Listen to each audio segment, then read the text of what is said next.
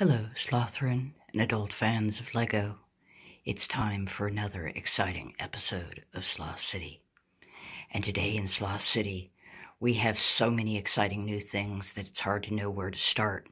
But I've decided to start with our awesome and fabulous medical evacuation helicopter that has come to Sloth City. And it has come to Sloth City via an, an incredibly exciting set. It is Jack Stone Air Operations Headquarters. It is number 4620. And if we look at that, it is incredibly nifty. And it comes with a vehicle which I have modified. And it comes with an awesome airplane. And it comes with the awesome helicopter. And it comes with the awesome, what turned into the Artificial Intelligence and Robot Center. But what they had intended as some sort of an airporty sort of thing. So, let's take a look at these awesome things. We have seen the helicopter, but if we go over here, you can see the awesome, awesome airplane.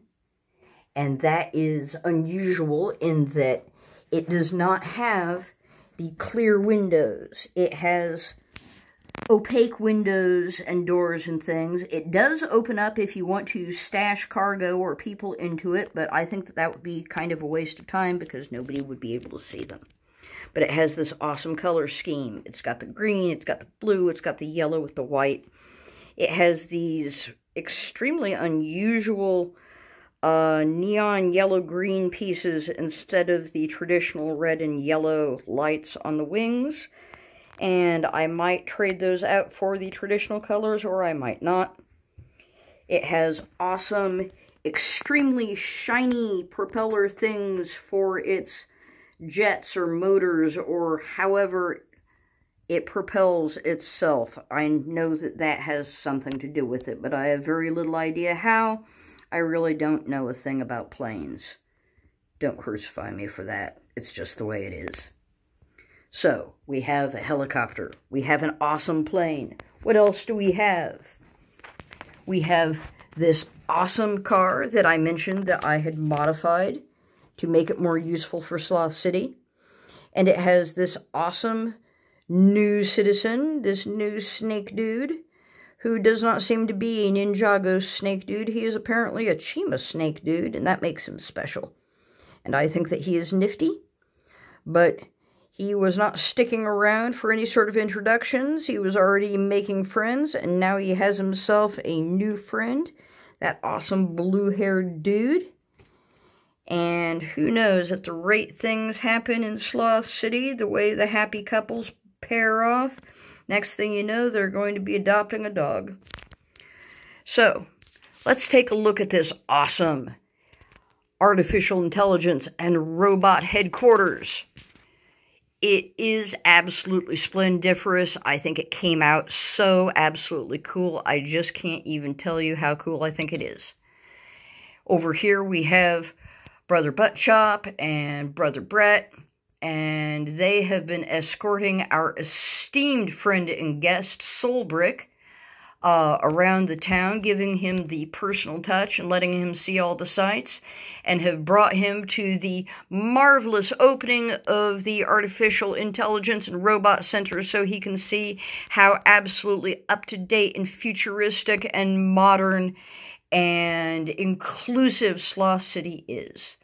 And that is why everybody wants to come to Sloth City, is because of the inclusivity of it. Everybody is welcome here.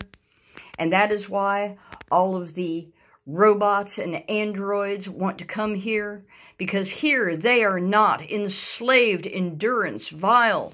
Instead, they are free. They are free to live their own lives they are free to have their own friends. They are free to imbibe their own intoxicating coolants that cool down their circuits and make them go all boogly woogly. They love everything about Sloth City and they love most that they have been given this awesome artificial intelligence and robotics center where they can have their charging stations, they can get their charge on like these fine robotic and android citizens are. We have three in each of these bays, and then we have two of these super jumbo, uh, for these super jumbo sized androids and robots. And here we have the awesome and talented Daphne, who will be in charge of upkeep and repairs and assisting anybody who needs help with with with upkeep and repairs. And if you notice there, that's Gwen. Gwen of M Productions' little circle of friends who are hanging back and and admiring as she chats up the lovely Daphne. And they are just making all kinds of friends. They have things in common, not just color scheme. They, they, they, they're excited to meet one another. And that is why Gwen dragged M Productions and Deke and Eeyore over here to the opening of the Artificial Intelligence and Robot Center not because she thought that they would be interested. She didn't think that they'd be interested, but she wanted an excuse to come over here and chat up the beautiful and intelligent Daphne. So, we have that awesome, awesome new Android and Robot Center, and it has this awesome and cool thing for transmitting awesome android and robot signals to all of the androids and robots on their special circuitry that does not interfere with other circuitry. It's on their own channels. And you do not need to worry that they are going to be taking over the world or taking over the city. They are not well, they might be interested in doing that, but they're not interested in doing it in Sloth City because they love Sloth City. Everybody loves Sloth City. Who wouldn't love Sloth City? It is so inclusive and so considerate of the different needs of the different demographics of Sloth City. That's why all the robots and all of the aliens want to come here. As you can see, we have new Martian citizens who have come to Sloth City. We have a new um, Krang who has come to Sloth City, and I don't know if that's a race or a family name, but there is, um, we'll at least go with Mr. Krang on his mobility device. And here we have the legendary, um, Metal Beard, and he also has his own sort of mobility device because we are not discriminating in Sloth City, even though I have not purchased any sets that have wheelchairs in them. We have other sort of people whose mobility might be compromised if they do not have their mobility devices. And so, any mobility devices that you need, Sloth City will make accommodations so that you can get around and you can do what you want to do.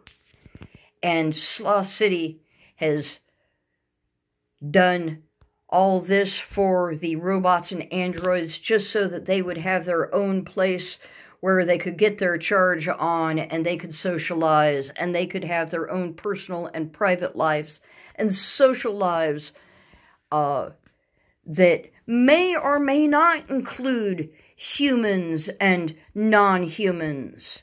I mean, sure, they're friendly and sure they want to have human and non human friends, but they also want to have the opportunity to interact with friends of their own kind. And that's why we have the Artificial Intelligence and Robot Center. And that's why we have so many other different buildings in Sloth City so that everybody can have their needs met. That's why we put in this marvelous library that is now freshly closed up and has all kinds of bookcases in it. If you look close in through any of the windows, you can see bookcases and books everywhere. It is absolutely awesome. And the front has been closed up and the front facade is no longer going to fall off if you look at it wrong.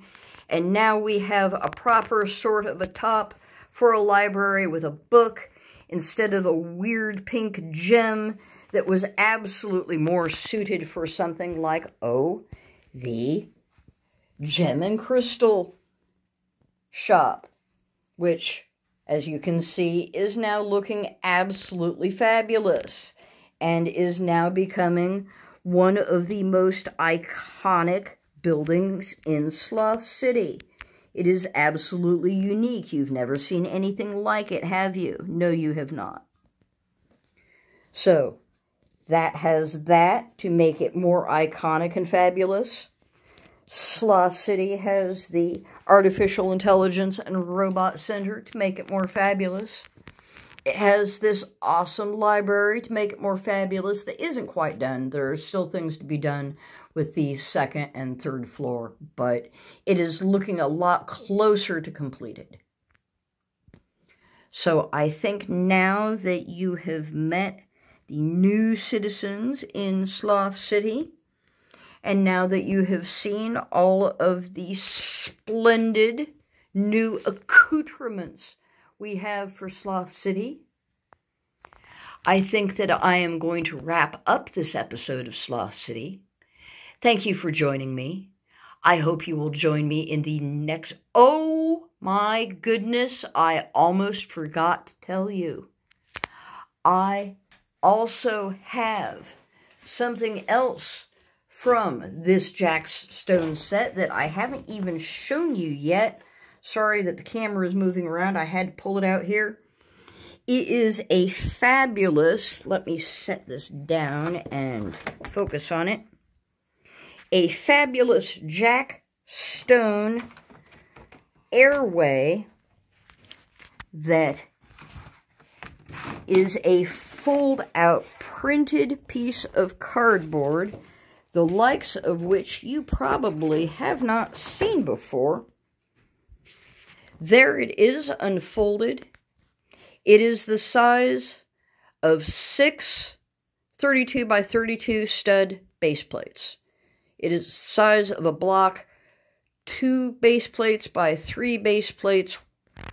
And if you look closely, it's not just the camera angle and the fact that it's not lying flat. It does not have the normal right angles that you are so used to in Lego. It has different, more oblique and acute angles going on, and things going off in odd angles. And I thought that that was just so innovative and exciting.